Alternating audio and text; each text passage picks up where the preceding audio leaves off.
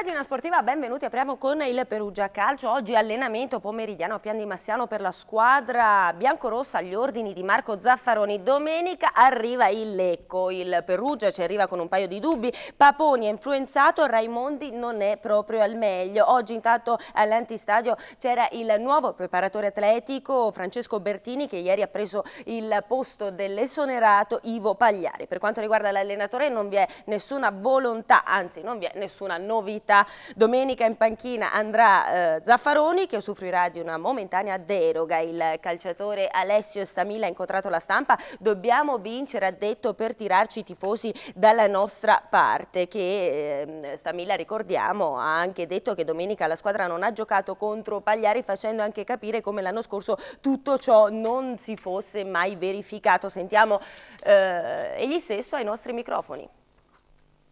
Quest'anno c'è un gruppo che, che, forse rispetto agli anni passati eh, ci teneva e non, eh, e non, volesse far fuori il mister, diciamo così, perciò siamo scesi in campo un po' tirati, però eh, per me è stato un buon pareggio alla fine, perché comunque si perdeva, quando si perde e poi si pareggia per me è sempre un buon punto portato a casa.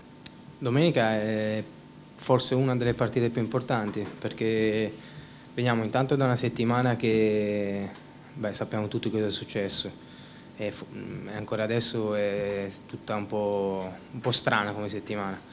Però diciamo che noi dobbiamo stare concentrati alla partita perché Lecco è una squadra dura, veramente dura. Visto delle, delle immagini vanno a 2000 in tutti i sensi, dal primo al novantesimo, quindi non bisogna farsi distrarre sicuramente da, da, da, questo che è successo questa settimana perché per noi quello che conta alla fine è il risultato di domenica.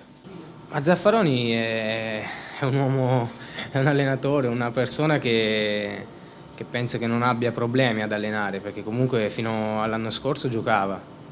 Io l'ho incontrato anche da, da, avversario e lui comunque ce l'ha sempre avuto il, il, un po' l'allenatore dentro. Poi mette tranquillità parecchia e forse in questo in questa settimana è quello che ci serve sicuramente. È quello che mi ha chiesto il mister e quello che penso che mi chiederà ancora Zaffaroni, il fatto di, di sacrificarsi. Io lo faccio, poi sicuramente ci rimetto io anche agli occhi della gente, forse, non so, però io vado avanti, io penso di, di, alla fine di fare il bene del gruppo ed è quello che secondo me in questo momento conta di più che la prestazione singola.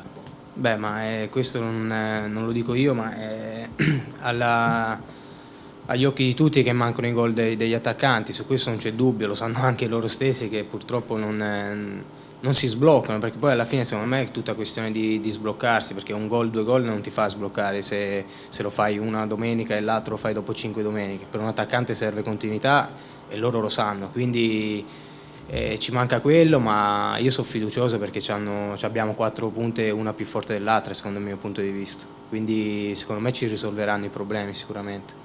Secondo me non pesa, nel senso che c'entra, uno ci pensa sempre perché stipendio è stipendio, ci mancherebbe altro.